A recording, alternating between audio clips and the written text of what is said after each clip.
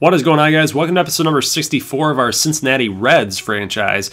Today we're doing the off season, and then in next episode we'll have a full season sim, and that's going to be it for the series. So after this, it's going to be all road to the show up until MLB 19 when that comes out, and I hope you guys enjoy that. It's going to be a continuation of the story of Ricky Holberman, which was a created player that I made a long, long time ago as a kid, and uh, hopefully you guys find some interest in that. So Pretty crazy though, because you guys last episode saw the end of the season. You guys are well aware that our coaching staff contracts were expired. So Doug Brocail, our manager of, I believe, two seasons, three se- actually three seasons. Doug Brocail was a manager here for three years, won a World Series, and then after that, just kind of was kind of ho hum, right?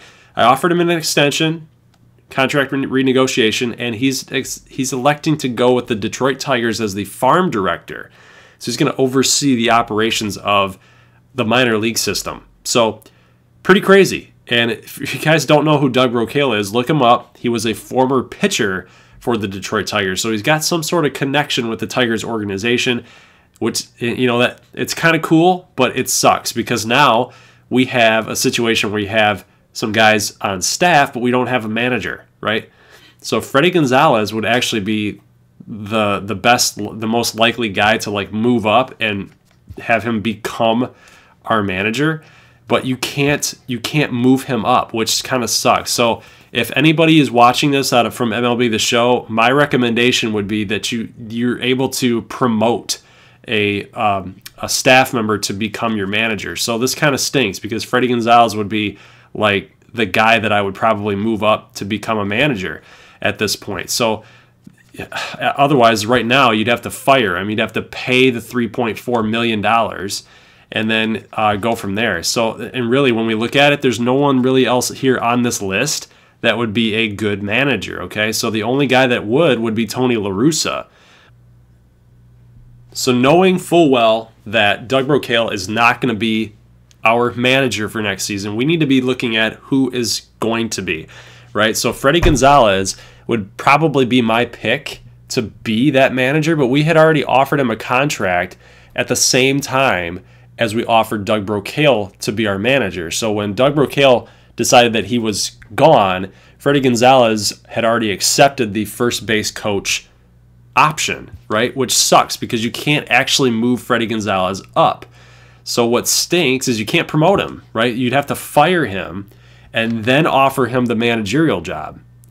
So that that really sucks because he would be the guy because he's already had some management experience with Atlanta, with the Florida Marlins. I, th- I, believe that's when they were the Florida Marlins. He was managing out there, but we'd have to we'd have to pay the 3.4 mil, and then we'd have to fire him and then move him up, offering him more money just to become the manager, right? Which sucks. So I'm not going to do that. I'm, I'm just going to allow that to happen, right? We've already got this guy, Bobby Sutter, to be our hitting coach, third base coach, Michael Jones. We need a farm director, a pitching coach, and a manager. And basically, where, where I'm going with this is that we've we look at when we look at this guy, Bruno Matos, at 21 mil for three years to be the Red Sox new manager.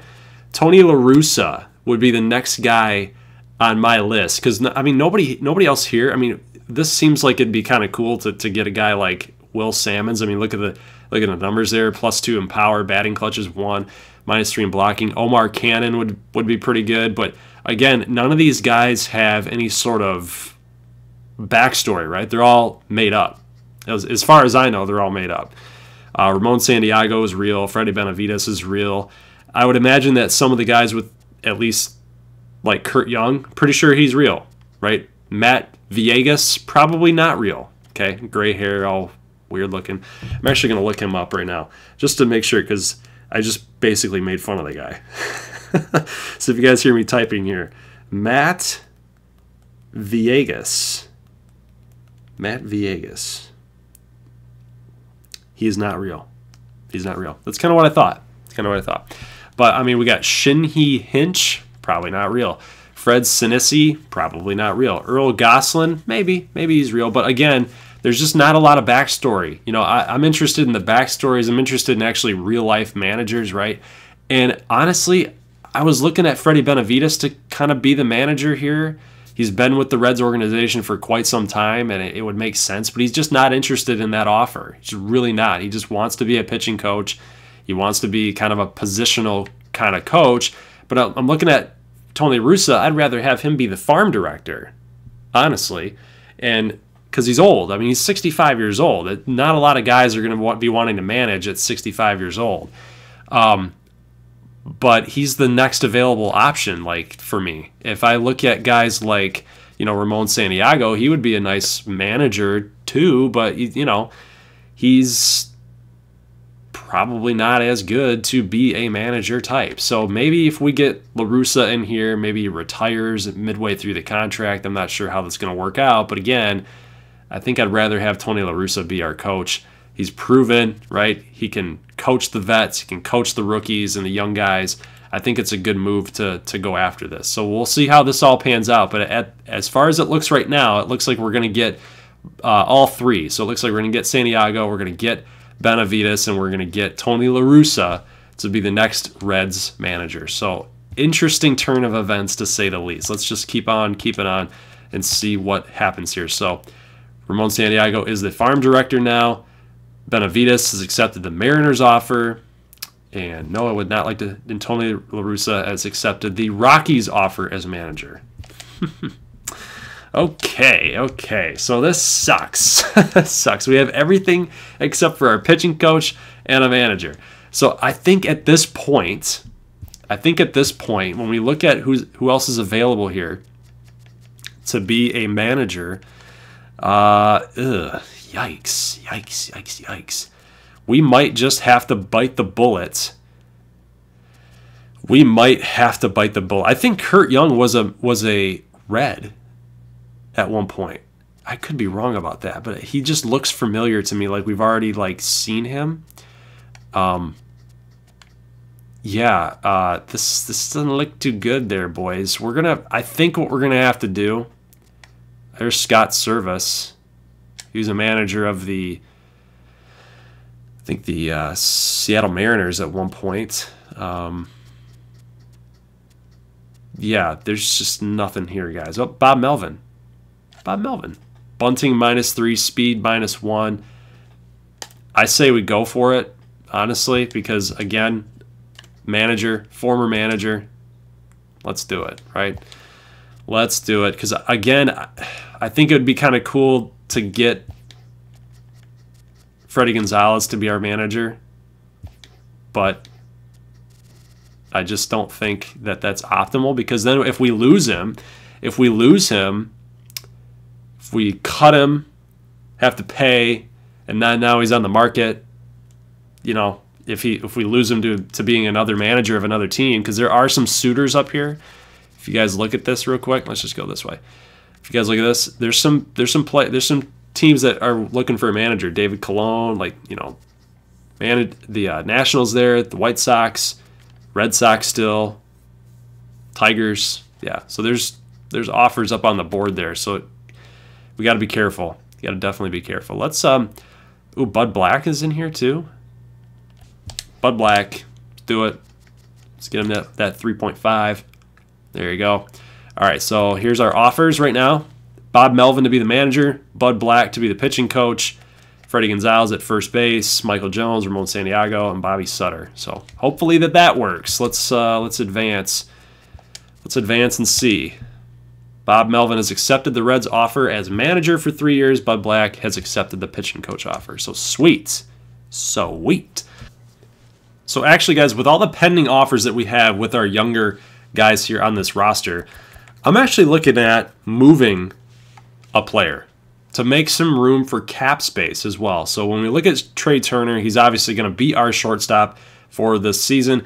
Jose Peraza is going to be on our team for this season. Wilmer Difo is also trying to find his way, right? We're paying him we're paying him quite a bit of money. We're paying him almost half a, a little over half a million dollar per season just to kind of be our primary starter at the AAA level, right? But when we look at our young shortstops in the AAA level, I mean, we've got guys that are in their mid 70s. I mean, Kevin Maitan is starting to really climb up there. He's been with us for four seasons, right? Domingo Leyba, we just acquired him from the Diamondbacks, we've got Jose Israel Garcia at 23 years old. Uh, Rodriguez at 27. You know, he's probably not going to do much, but you know, you know, and we also got Ryan Franks too at 20 years old at being a backup third. Shed Long really hasn't really done a whole lot in his time at the major league level. 257 last season when he did get the call up, but we also acquired Luis Garcia too. He's 67 overall at 22 with a B potential. Like these guys are these guys are about getting ready to start making their way here to the major leagues, right? So I'm looking at moving Scooter Gennett, and it sucks because, but you know what? We're already in the season 20. We're going to be heading into 2022, right? And when we look at Scooter's numbers, they've gone down consistently over the last few years, right? Last year had the same amount of games played, right? 150, 153, 153 had this had about the same number of at bats.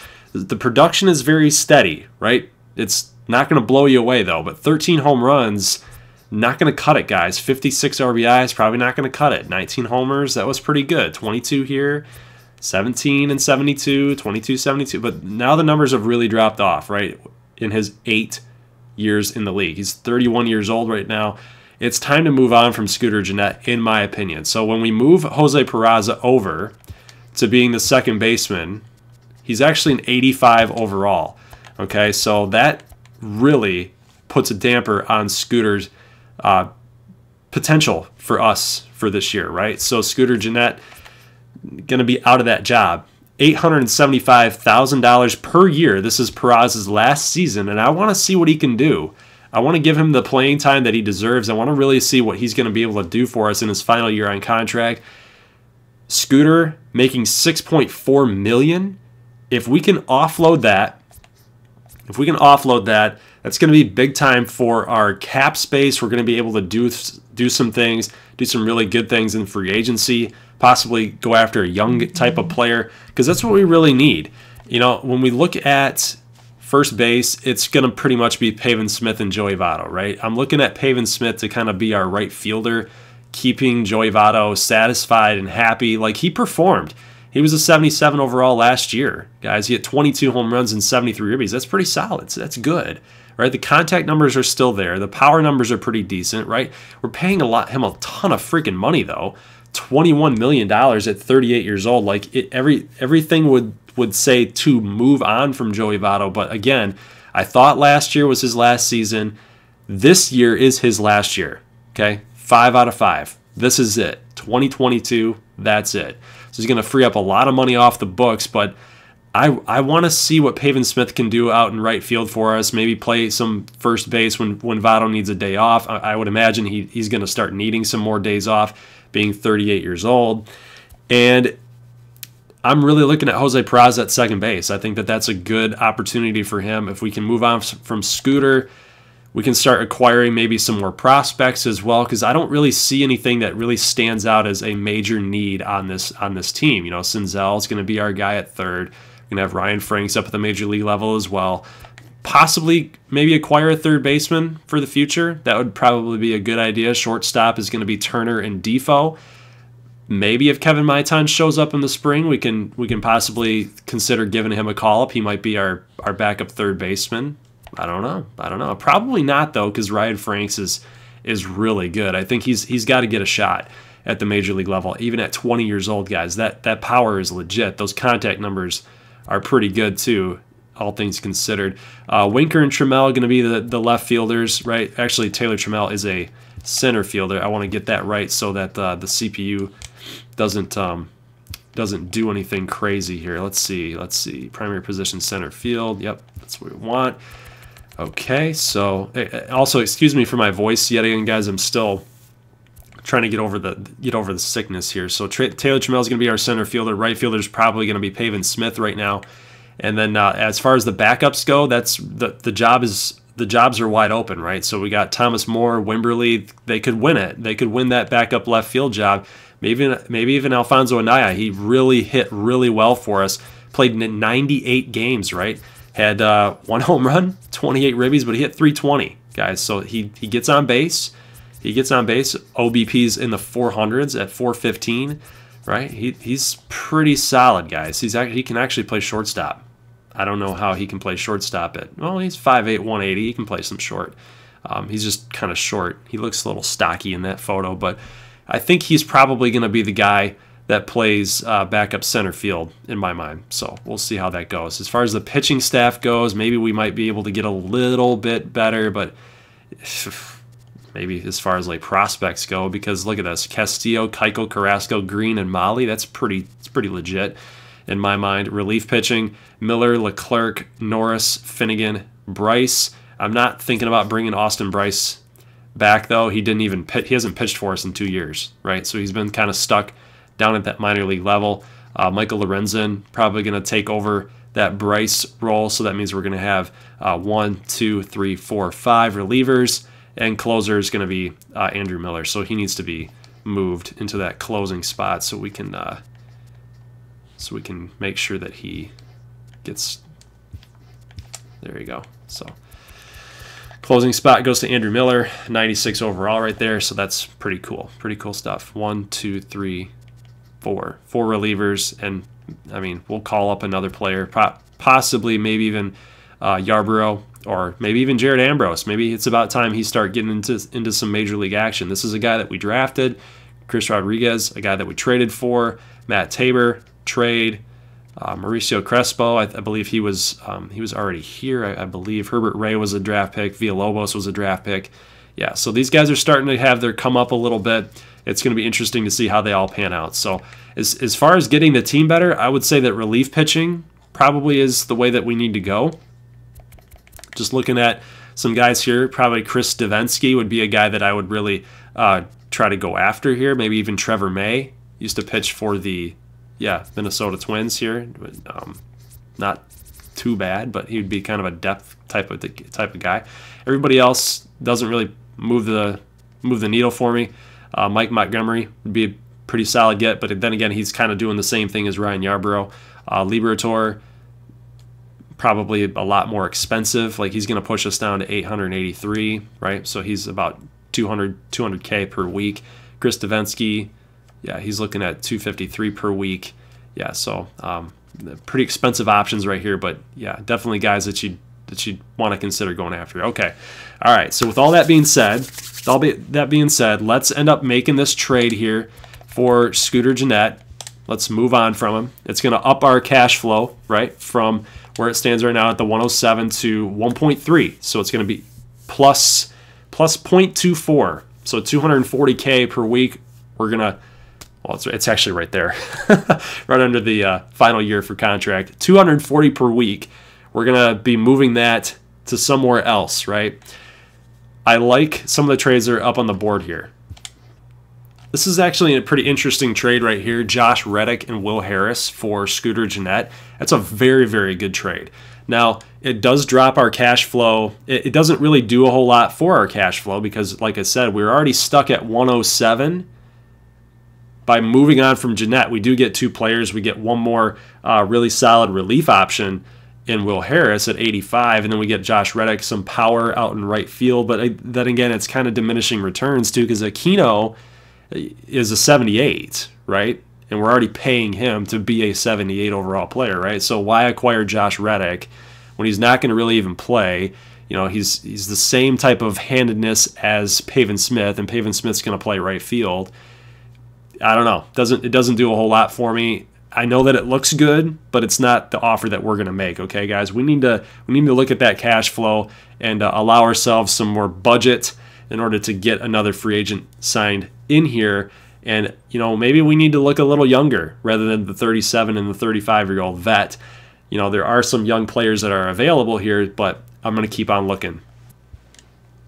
All right, guys. So here's a trade that I actually like. It does a little bit better in the cash flow. I, I know that I, we were just denied a trade that, you know, didn't do our cash flow a whole lot of a whole lot of good here. But I'm looking at this as far as a positional eligibility type of trade, right? The fielding's a little bit better for Tim Beckham. The power numbers are way better than Gennett at 74 and a 61. Contact at 65 and 63. That's pretty much about the same. He's more of a well-rounded hitter than Gennett is right now. And I say that I say that with some caution here because in real life, I know for a fact that Scooter Gennett's a better hitter than Tim Beckham. We can all admit that, right? It's just that's just factual information. But as far as this universe goes, as far as the game goes, they contacted 52, they contacted an 82 versus 65 63, right? 74 61. The fielding's a lot better, right? The speed numbers are a little bit better than Gennett. It gives us a, it gives us a little bit more options as far as speed goes, and it gives us a backup in third base, right? I mean, you can basically make the make the argument that Tim Beckham being traded over to us gives us a backup second base option, right? He can act because that's where he's going to play in my mind. It's going to allow Ryan Franks to come in at some at some crucial spots for you know when Senzel needs a needs a break, right? Ryan Franks actually is a left-handed hitter, so he can maybe even play against right-handed hitters or right-handed pitchers at some point when Senzel needs a rest, right? So it gives us it gives us just a little bit more flexibility, right? It gives us flexibility with cash flow. I mean, we get a, we get one year older, but we're also save, we're saving money, right? And we're also looking at this as far as you know what makes sense for for the team, and we need some more power numbers. We need some more power numbers. We need a guy to be able to come off the bench and give us that that extra pop. You know, I mean, we got Ryan Franks that can do just that. But other than that, I mean, look at the, looking at the starting lineup here, guys. Trea Turner, Mm, pretty much no power. Jesse Winker was our one of our leading home run hitters last year with 18, right? Taylor Trammell had 12. Uh, Alfonso, Alfonso Anaya had one. That's because he didn't really get a lot of playing time. Uh, Aquino didn't really contribute a whole lot whatsoever. Nick Senzel had 24, so he took a huge step forward. Uh, Pavin Smith last year had 10. Votto had 22. So outside of it was Votto and Senzel that had 20 home runs, and Jesse Winker had night, or, uh, 18. So then we look at Tim Beckham, who had 24, consistently hits about 20 home runs every year. It's a type of player that I like. I think that we need to do this. And again, it helps our cash flow. So let's pull the trigger on this and get Tim Beckham on the roster. And like I said, it, it only helps our cash flow up. And I, I think that that's a good trade for us to, to have made. So if we move Tim Beckham over to second base, he will be backing up uh, Jose Peraza, and then now, now we're able to possibly make a few uh, free agent moves that will help us out for this upcoming season. So there you go. So Tim Beckham now an 80 overall as we moved him over to second base. So all right, so the Cubs get Kenley Jansen. It's an interesting sign there for the Cubbies. The Mets go ahead and sign Byron Buxton to five years for $120 million for a guy who's hitting 260. Come on. All right, so giving you guys a little update here. We did get Pavin Smith. We got Hunter Greene, Franks, Rodriguez, Ambrose, Leyba, Sant- Santillan, Matt Tabor, Jeter Downs, Brady Klein, Peter Davis, Luis Garcia, Nick Longy, Kenneth Etheridge, Emery Tobin, Alberto Valencia, and Wilson Joyce. So Reds' remaining unsigned players are Taylor Trammell, Thomas Moore, Wimberly, Mahle, Maitan, Marcus Wilson, Anaya. Yeah, so we got some work to do, but you know, hey, we're doing pretty solid right now. We've got, let's see here, we have $921,000 and left in our cash flow. So yet again, we're still able to make these moves, the moves that we need to, to sign our guys here. And uh, hopefully, maybe we're able to get in on some some bigger uh, free agents Freddie Freeman going to the Cardinals. So apparently, I mean, he didn't he, he's making about the same money that uh, Buster Posey is. Interesting. So now we're gonna have to worry about Freddie Freeman, guys, and then Lindor. Ooh, Lindor, nine years, going to the Chicago Cubs for nine years. So he's gonna spend the rest of his career, pending a trade. He's gonna be 37 years old by the time that contract is up. So, but the Cubbies, man. So the NL Central, the NL Central just got a lot more competitive, guys. Holy crap. Oof. Wow. So look at the I mean look at the uh, the Brewers here. The Brewers are are very very solid baseball team here. Pirates getting a little bit better. The Cardinals just got Freddie Freeman. Ouch, that hurts. That hurts. Cubbies just got Lindor and Kenley Jansen. Wow. So the Cubs are going to be good yet again. Ooh, we got to make some moves, boys. Let's see if we uh, ended up getting anybody back here. So we did. Uh, Reds signed players, right? So we got Taylor Trammell. We're down to 700K in cash flow. We're still going to be able to afford all of our guys, right? So that's just how it's going to how it's going to pan out. But you can see why that trade um, for Scooter Gennett really has helped us, right? It's helped us be able to sign some of these players that we need to bring back. And I feel like the, the team got better because of it. I mean, when we're just looking again at the second base situation, you know, Tim Beckham is going to provide a little bit more power at the second base slot, and you know he can even play backup third if anything happens. You know, you always have to have an insurance plan in case people get hurt or people are struggling, right? And he can also play some backup shortstop too in case Difo possibly struggles and we got to move him down. You know, there's a lot of things at play. So I, I think the team as it is looks pretty pretty good. I don't think we stack up too great against the Cubs or you know the Cardinals, but you know, it, it's basically our pitching staff that's going to have to carry us yet again this year. So Castillo, Keuchel, Carrasco, and then we're going to need some some big time production and, and run scoring from Senzel, Peraza, Turner. Uh, Votto's going to have to come through. You know, Pavin Smith's going to have to come through yet again. Daniel Norris at relief. Jesse Winker had a great season last year. Uh, Tyler Stephenson's a good offensive piece, but you know we're we've got depth, guys. We're a solid overall team from up from bottom to top, from top to bottom. I mean, so, you know, I mean, we have a chance at doing some good things in 2022. Uh, it's a very competitive looking team, but, uh, you know, we don't have a lot of star power, I guess you'd say. So that's kind of the team that I actually like to follow, right? It makes it for more interesting storylines. So let's keep going. Mariners are going to get Christian Yelich. Nationals sign Javier Baez to five years, 78.8. So the Nationals yet again are spending a lot of money. Kris Bryant going to the Dodgers. Oof. At least he's out of the NL Central now. We don't have to worry about Kris Bryant. Miguel Sano also going to the Cardinals. So the Cardinals are not stopping. The Cardinals are not stopping making their uh, big time moves here. So I think it's I think it's about time. I think it's time we start making some some moves here down in the free agent uh, list. I don't know. We're not going to be able to afford a big time player unless we move on from Joey Votto. Then again, that's that's the big thing. And I know you guys are probably you know getting kind of sick and tired of hearing it. You know, me talking about Joey Votto all the time, but you know I. He hit 22 home runs last year when he even was at 77 overall. So I know we're paying a lot of money for that, but you know he's he's still a pretty pretty great player to, to have on your team. Diamondbacks signed Corey Seager. Dodgers get Jose Iglesias. Cubbies signed Chris Archer. Anderson Inciarte goes to the Mariners. Addison Russell goes to the Orioles. Wow, a lot of movement, a lot of things happening in this offseason, guys. Um, we're just trying to hang in there.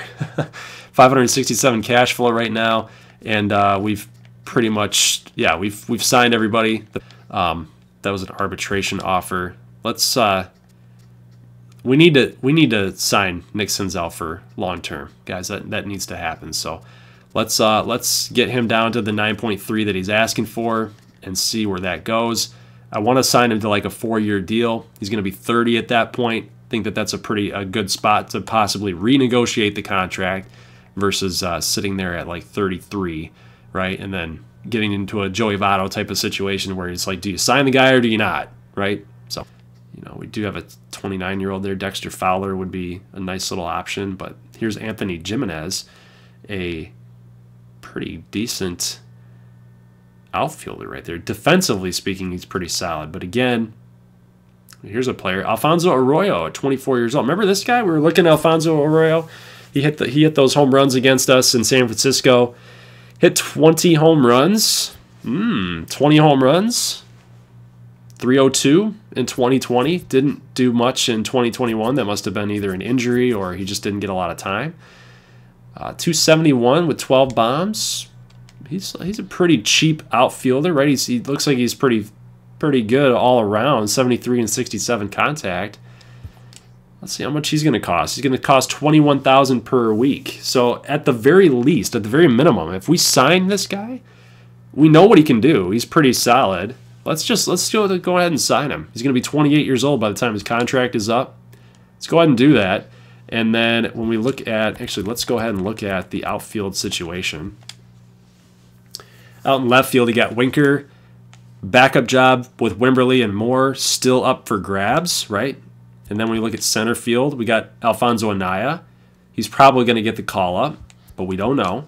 And then we've got Phillip Ervin, possible we could get the call up. Aristides Aquino could get the call up, but we know Pavin Smith's going to play right field. So the backup, the two backup outfield jobs are up for grabs.